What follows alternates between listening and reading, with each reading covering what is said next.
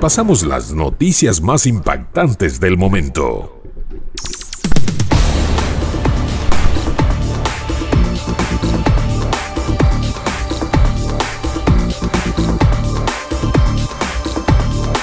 Estas son las noticias destacadas de hoy lunes 23 de septiembre del 2024. Pelea a la salida de la disco casi termina en tragedia. En Ciudad del Este, dos mujeres se trenzaron a golpes al término de una fiesta en el barrio Ciudad Nueva. Mientras un agente de policía intentaba separarlas, ocurrió lo inesperado.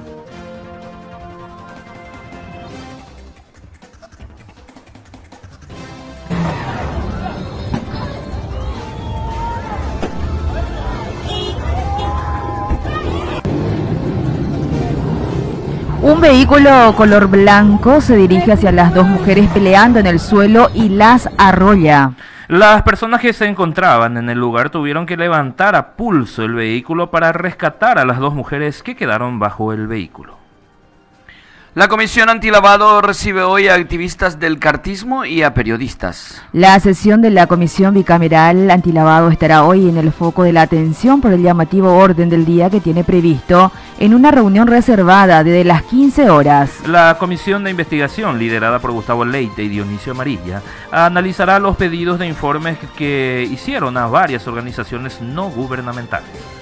Por otro lado, se espera una reunión de representantes del Sindicato de Periodistas del Paraguay a las 14.30 con miembros de la comisión. El asunto a tratar será las filtraciones por parte de senadores de documentos de consumidores que prestaron de comunicadores que prestaron servicios a profesionales y organizaciones. Sus facturas de cobro fueron repartidas a operadores del cartismo que hicieron públicos datos privados en redes sociales con el fin de desacreditar su labor. Exitoso festival para la juventud en Coronel Oviedo.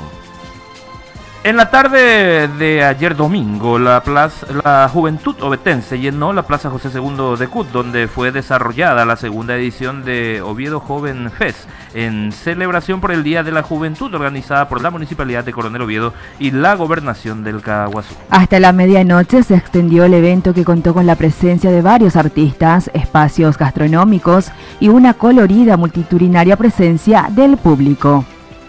Campeonato Interligas Mayores San José gana a Londinense y clasifica para la siguiente etapa del Interligas. El Nobel seleccionado de Nueva Londres quedó eliminado en su primera participación. Con este resultado, Betense, que tuvo fecha libre, también aseguró su pase a la siguiente fase de la competencia. Recoleta concreta su vuelta a Primera División. Tras 22 años, el Deportivo Recoleta volvió este domingo a la primera división del fútbol paraguayo al conseguir la victoria de 2-0 sobre Pastoreo en el duelo correspondiente a la fecha 27 de la división intermedia. El primer tanto del partido lo hizo Marcos Benítez a los 27 minutos de la primera fracción con una soberbia definición del tiro libre.